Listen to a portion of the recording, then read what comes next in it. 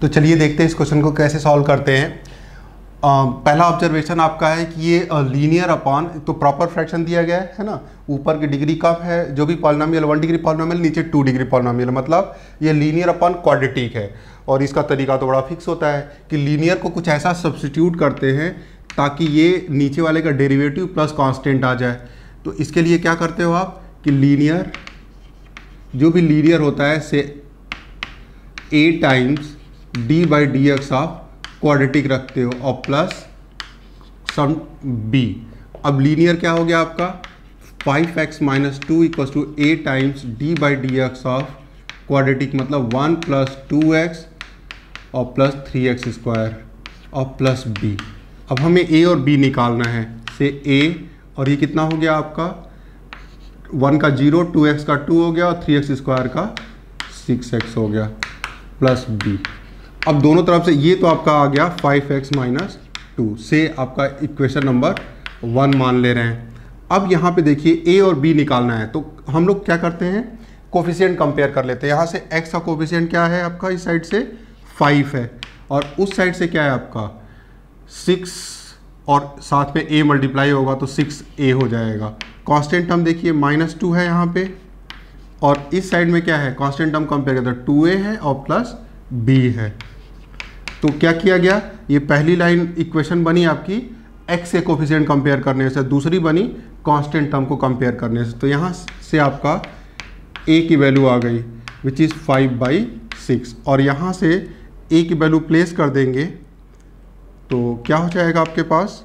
Minus two equals to two into five by six plus B हो गया। Two three जा six. B क्या आ गया आपका? बी आपका आ जाएगा, ये फाइव बाई थ्री इधर आएगा माइनस टू और minus five by three three two जा सिक्स और five minus eleven by three आ गया। तो ये बी की वैल्यू आ गई, ठीक है? और ये हम लोग आगे इस्तेमाल करेंगे, ठीक है? तो ये b equals to minus eleven by three लिख के हम छोड़ दे रहे हैं, ठीक है? अब क्या होगा? ये जो इक्वेशन वन है ये इस्तेमाल करेंगे इस लीनियर मतलब फाइव एक्स माइनस टू की प्लेस पे ताकि ये आ, इसका डेरिवेटिव आपका ये पार्ट आ जाए और दूसरे में जो क्वेश्चन स्प्लिट हो वो आपका अलग हो। मतलब it could be written as a integral could be written as a A times two plus six X और plus B whole upon quadratic जो भी है इसे सीधा सीधा लिख रहे हैं three X square plus two X और प्लस वन डी एक्स हो जाएगा। अब ये दो इंटीग्रल में ब्रेक हो जाएगा आपका। एक ए टाइम्स इंटीग्रल ऑफ़ क्या कहेंगे हम लोग?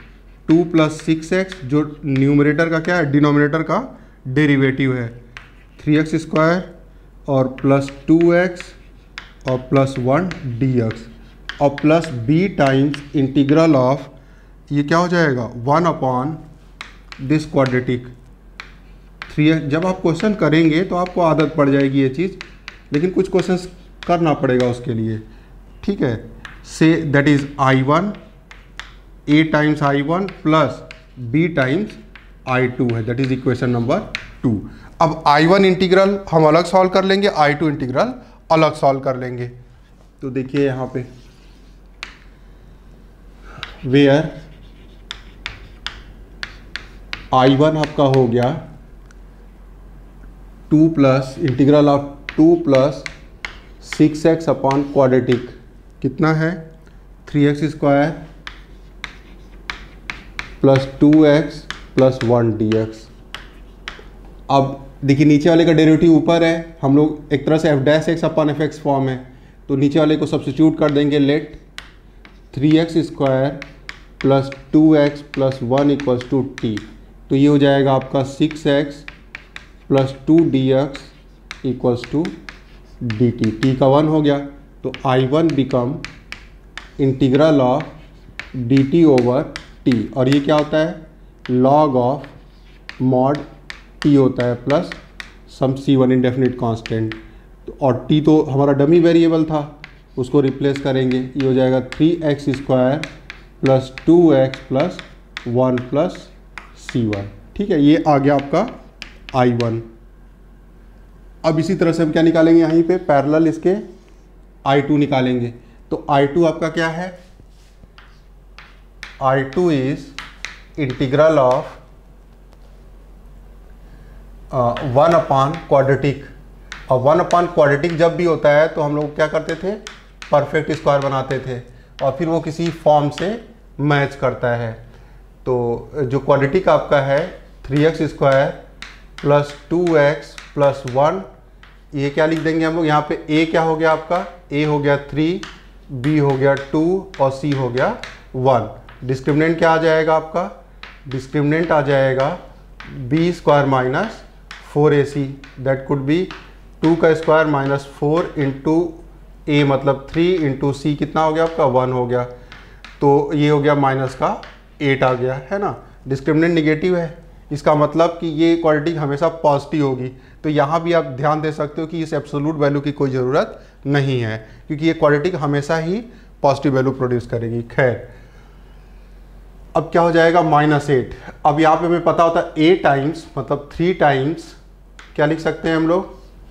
X plus B by two A और बी कितना हो गया आपका? Two upon two A two into three का होल स्क्वायर माइनस डी मतलब माइनस एट तो ये प्लस हो जाएगा eight by four A square. Four A square, A का स्क्वायर का मतलब nine. Bracket close, four two जा एट। तो it could be written as a three times. Bracket में ये टू टू कट जाएगा।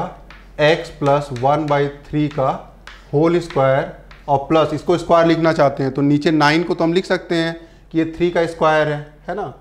लेकिन ऊपर तो रूट टू का स्क्वायर लिखना पड़ेगा। तो रूट टू बाई थ्री का क्या हो गया? होल स्क्वायर ये क्वालिटी उसकी जगह पे सब्सिट्यूट करेंगे। अच्छा ये दिखाना ज़रूरी नहीं है। ये रफ वर्क आपका हो सकता है, ठीक है? तो इस इंटीग्रल को हम लोग आगे प्रोसीड कर देंगे। I two become integral of one upon three times x plus one by three का होल स्क्वायर और plus root two by three का होल स्क्वायर डी एक्स अब वन बाई थ्री ये कांस्टेंट है, ये चला जाएगा बाहर। तो ये बाहर आ गया वन बाई थ्री यहाँ से हम ब्रैकेट हटा देते हैं। फिर आपका क्या हो जाएगा ये? इक्कीस वाले फॉर्म से मैच कर रहा है। One by x square plus a square से मैच कर रहा है। हुँ? उसके लिए सब्सटीट्यूशन कर देंगे यहाँ पे आप फिर से। से x plus one by three equals to u let कर लेंगे हम लोग, है ना? लेट अब क्या हो जाएगा आपका? डी एक्स इक्वल्स टू ये हो जाएगा। काफ़ी मतलब थोड़ा पेशेंस चाहिए आपको पेशेंस रखना पड़ेगा क्वेश्चन करने के लिए। क्वेश्चन आसान है, लेकिन पेशेंस चाहिए, है ना?